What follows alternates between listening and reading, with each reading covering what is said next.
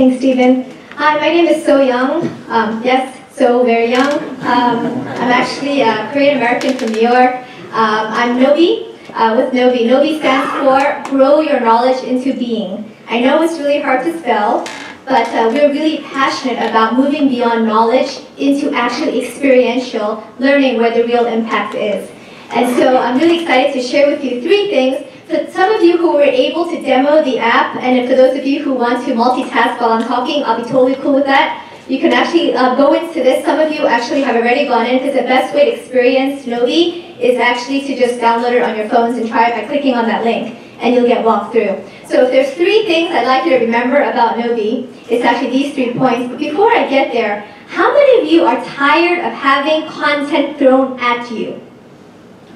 And how many of us are bombarded by uh, content, articles, news every single day?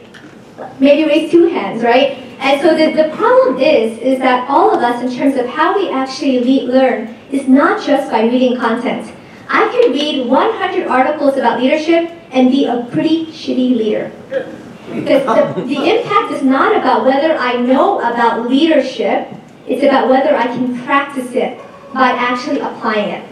Gnowbe is based on the latest science in adult learning, which is based on learn by doing, through peer-to-peer -peer learning, through learn by sharing, through having conversations with other people, and ultimately the most important, powerful way to learn is actually by teaching. And we believe that anyone can teach.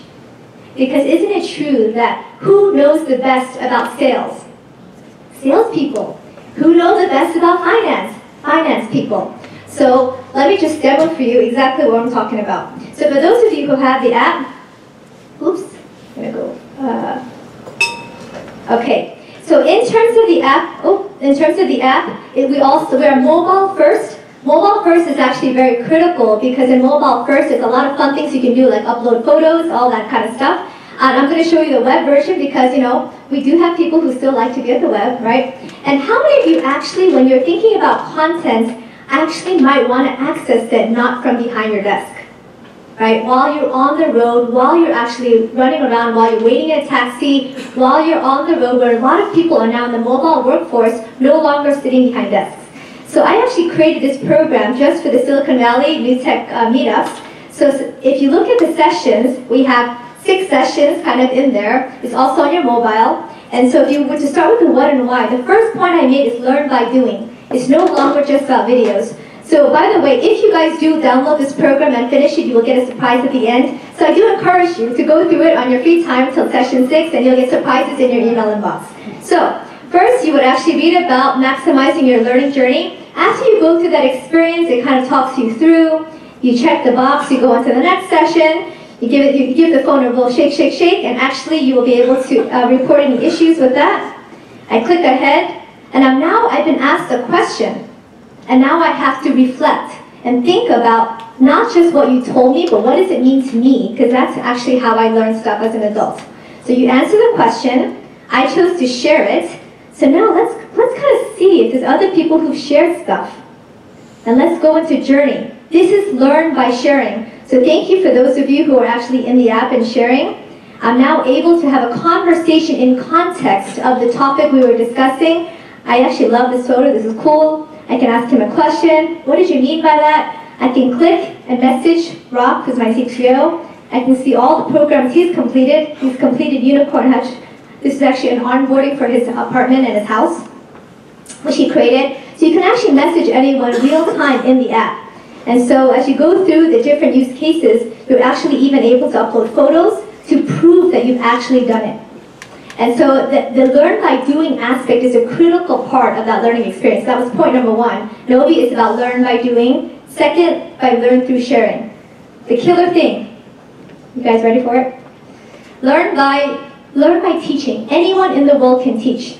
Now what I'm going to show you is if you go into your phones I'm gonna, I actually created a special program actually called Silicon Valley New Tech. If I switch to this program in my Gnowbefy app, Gnowbefy actually gives me the opportunity to create and design new program instantly. So I started a program, if you notice, if you downloaded, there's only one session there. Uh, okay, okay. downloading. So I, I downloaded one session, and guess how long it took me to create that session six that I showed you? It took me about 10 minutes. So here I am in Gnowbefy, and I've actually created Hello Gnowbe. I want to actually do a video from my phone while I'm sitting around to actually talk about my learning point. Hi guys, I'm super excited to be here at Gnowbe. Oh, I'm sorry, wrong place. I'm going to retake that, right? So you can actually make fixes real time from your phone. You can talk to your team about their agendas, etc. from your phone and save it. And then I actually ask the question, what questions do you have about my pitch? And by doing it real time, if you actually have it on your phone, you'll be able to see it. And then I've actually asked you to smile, upload a picture of yourself and get to know the, the community. So this program I've just created instantly is actually on your phone. So for those of you who have access, if I, all my little typos I just made in the video I just changed, if you download it, it actually opens instantly. So that's the whole idea that anyone, imagine you put this tool in the hands of your managers, your people. I see an issue with what my team is doing. I can't wait till next week. I'll snap a photo, upload it. I'm having an inspiration. I read a great article. I want to share it with my whole team. I can upload it immediately and create learning moments every single day and every single moment. Thank you.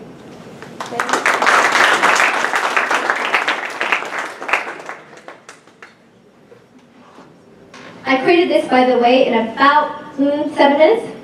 So I created this whole session in about seven minutes. And uh, most of my programs I created from my bed.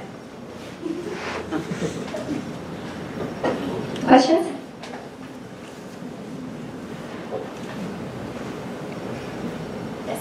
Do you have any metrics on the effectiveness of Gnowbe? That's a great question. Of course, so on the back end, because companies care a lot about metrics, and that's actually really, really critical, I actually have here the dashboard. So in fact, for this evening, I already know who's actually downloaded the app and who's actually accessed it in a very, very simple, easy to use green dot.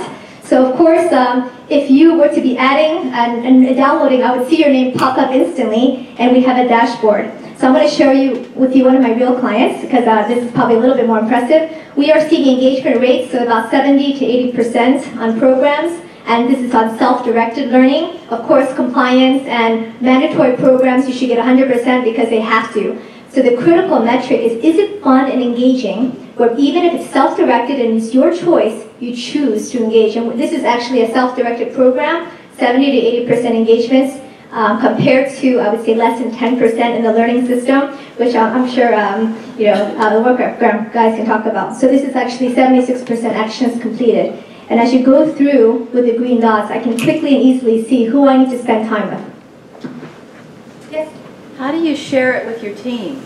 Um, instantly. So as soon as I create the program in Gnowbefy, I'm able to go, and by the way, Gnowbefy is available to everyone for free. Um, if you want to actually create programs for your teams today, um, if you want to get the dashboard analytics, then you can upgrade to the Gnowbefy Pro to pay for it.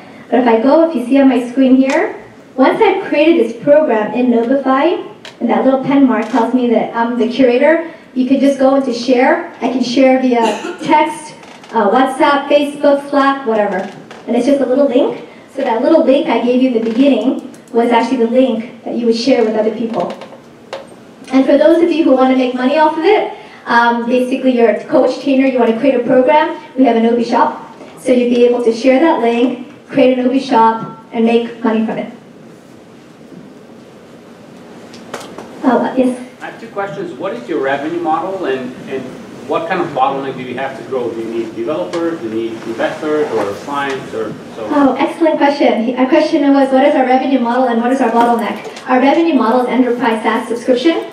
So it's a per user per month basis. Um, the second one, what is our bottleneck? We're looking for investors because we're actually in seed right now. We're planning to do a Series A in six to 12 months. We're actually already getting revenues and you know, people kind of fall out of their chair when we create the content for them in five minutes. So, um, so we're seeing a lot of traction, and so we're looking for investment to grow, and we're ready now to do business development and start to sell. We haven't done much sales. We don't have any full-time salespeople yet, so it's probably time to do that. Last question. What is your most successful monetization for somebody who sold courseware? Um, we have actually the selling of the courseware yet. We, that's something that we, this Gnowbefy, we just launched that two weeks ago. So we actually have really been focused on enterprise. That's our number one priority. So we actually haven't even marketed the whole courseware thing yet. So that's very, very new. Okay. But um, I hope, you know, our dream is to help make people make millions, you know, so, um, and the idea of mobile learning and mobile engagement, this is the future of learning. And so people are not going to be, and, and you know, if you want to reach a billion people, which is our vision, to reach a billion people in the world, they're not going to be doing it from their desktops. They're going to be doing it on their mobile phones.